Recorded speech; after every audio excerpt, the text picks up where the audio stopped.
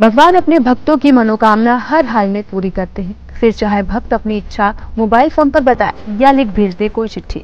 जी हाँ शहर के जूने इंदौर इलाके में ये है चिट्ठी वाले चिंतामण गणेश का मंदिर।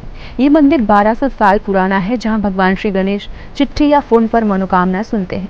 ये मुकुट चांदी का है, जिसका वज़न 350 ग्राम है और मूर्ति की ऊंचाई दो दशमलव पाँच से तीन फीट है। ये मंदिर परमार काल में राजपूतों के राज का है। इस मंदिर का जीर्णोद्वार काले पत्थर से किया गया है। ये बारह सौ तेरह सौ साल पुराना मंदिर।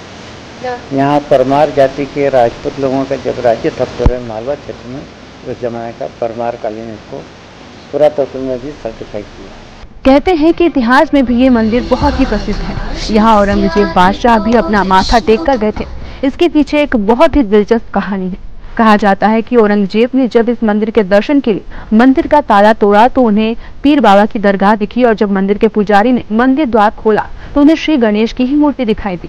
ये इस मंदिर का पहला चमत्कार था। ये देखकर औरंगज़ेब मंदिर को बिना नुकसान पहुँचाए वहाँ से चला गया।